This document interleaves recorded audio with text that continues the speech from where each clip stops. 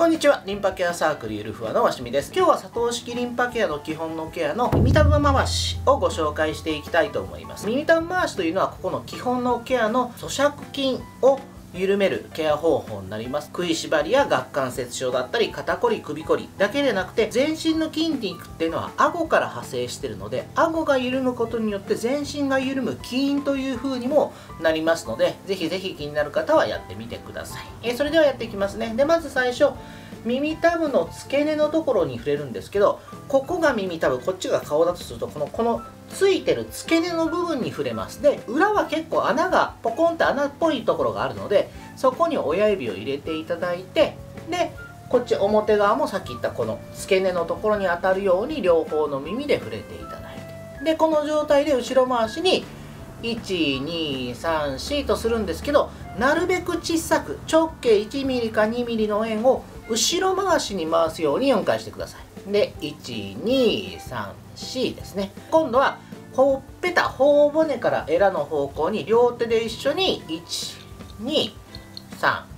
1234ですね。でもう一回耳たぶに触れていただいて耳たぶを後ろ回しに1234で続いて顎を動かすんですけどまず下顎前後ですね。前後というかまあ軽く前出すイメージ。で前も横から見た時にまっすぐ真横というより斜め前下方向に下顎を動かすように1234ですでこの時に大きく動かせばいいわけではなくってあの大きく動かす動ける人は動かせばいいんですけど硬い人は小さくなると思うので小さくても大丈夫ですしっかりそのどう言ったらいいんですかね動くことが大事ではなくて緩むことが大事なので自分が気持ちいいなとか無理なく動けるなって範囲で1234で左右に動くんですけど左右も全く同じで無理のない範囲で1234していただいて最後に軽く下顎を前に斜め下ですよ。斜め下に出してからそこから口をあ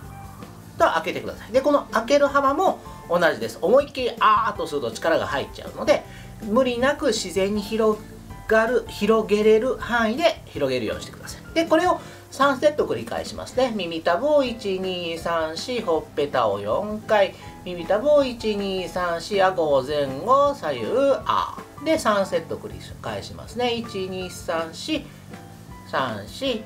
でえー、1234顎前後に1234横1234やですね。で3セット終わった今度、えーと、腕回しになります。で腕回しのコツとしてはまあ肘を曲げたこういう状態ですね。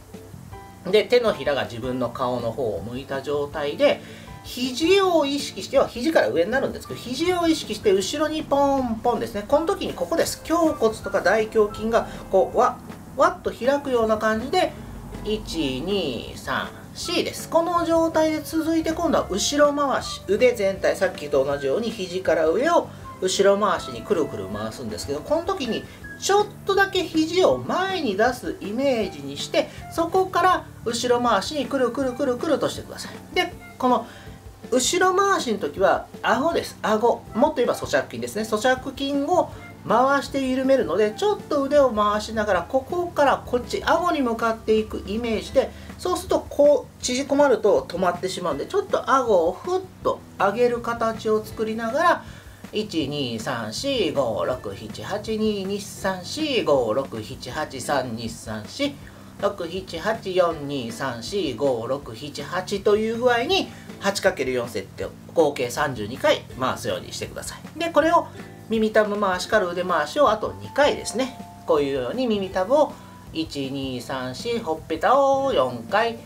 耳たぶを4回顎を揺らしてでそこから腕ですね。腕をトントン後ろに4回で後ろ回しに 8×4 セットですね。をしていきます。これちょっと回数飛ばしてますけどそのまましてくださいね。で耳たぶの付け根をまた4回ほっぺたを4回耳たぶを4回顎を前後左右あで胸を開くように後ろに4回した後に後ろ回しを 8×4 セット回すようにしてください。回数はあの省いてますけどあのしっかりする方はその回数をやるようにしてください。でそうすることによって顎が緩みますのでそれによって肩が軽くなったり首が軽くなったり顎が動かしやすくなったりあとここが基本のケアなので本当にここをすることによって体の中の温かさだったりとか軽さとか柔らかさそういうものを感じていただくとよりその認知という部分になるんですけどその認知自分がケアをして良くなったっていうことを